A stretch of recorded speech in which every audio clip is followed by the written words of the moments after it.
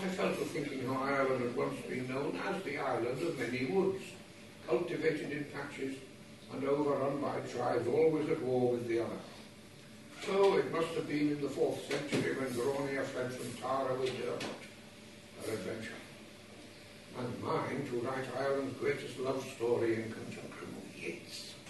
The moment had come, and feeling like a swordsman that meets for the first time a redoubtable rival, I reminded Yeats that in his last letter he had said we must decide in what language the play should be written. Not whether it should be written in English or in Irish, neither of us knew Irish, but in what style. The word soldier represents to us a man that wears a red tunic. An equivalent must be found in swordsman or fighting man. Hill is a better word than mountain. I can't give you a reason, but that is my feeling. And the word ocean was not known to the early Irish, only the sea.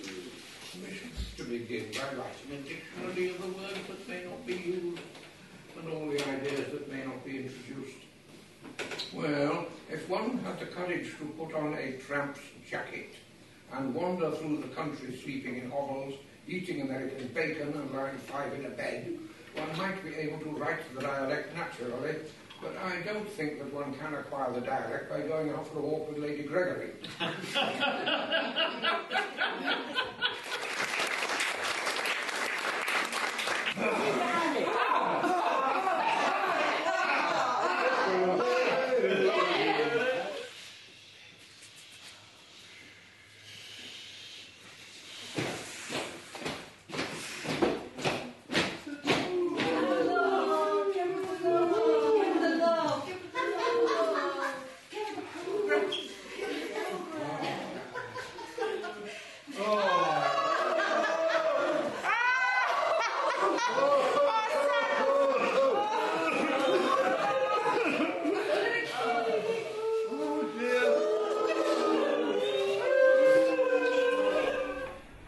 November 2006.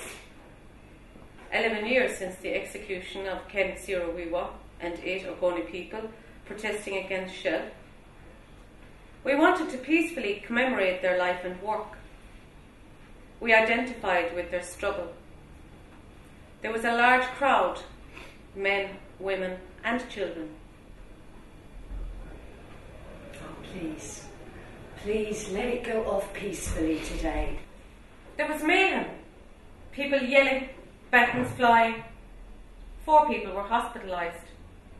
Countless others had injuries to their arms, legs, and shoulders. I'll never forget it. The man I married was a good man. I'm just doing my job, I'm just doing my job, I kept telling myself. I linked arms with other colleagues. There's a line of us. A line of defence facing just roaring and pushing and as the noise levels get louder my ears start to throb and then you know I couldn't hear my mantra. I tried but all I could hear was a din. And I just wanted to roar back. I'm just doing my job, I'm only doing my job. I had enough of that roaring going on and on and on. I come home and I find you with your fancy man, your bloody fitness instructor, in my bloody bathrobe and slippers, looking quite comfortable at the kitchen table, and no doubt looking to get into our bed. Explain that. I'd like to hear it. Oh, there's no explanation. Absolutely none. It's quite simple. He's my lover and has been this last six weeks. And he's been in our bed, as he put it, quite a number of times. You bitch! How could you let him into our bed? Very easily. I invited him. There hasn't been so much sex in that bed for ages and ages, I can tell you.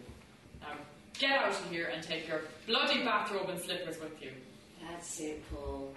Pick up your petty possessions and piss off. And now, I'm ready. Ready for life.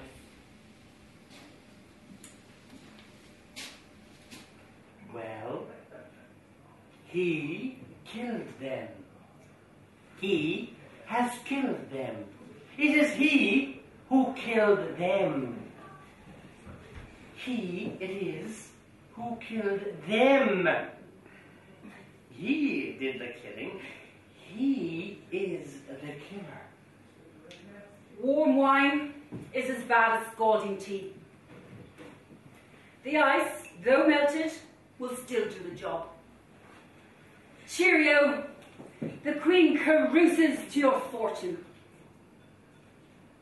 Do not drink. The ice! The ice! Are you poisoned? Yes. Too late, as they say. Past tense, Axel, my son. As they said, past tense. Present perfect has been. Past participle gone.